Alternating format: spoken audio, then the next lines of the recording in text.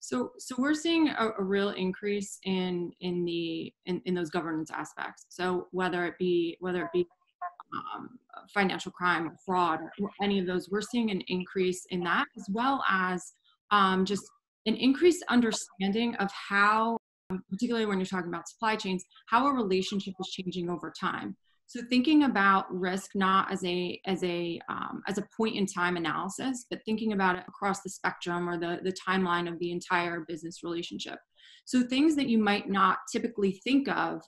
as as um, an ESG factor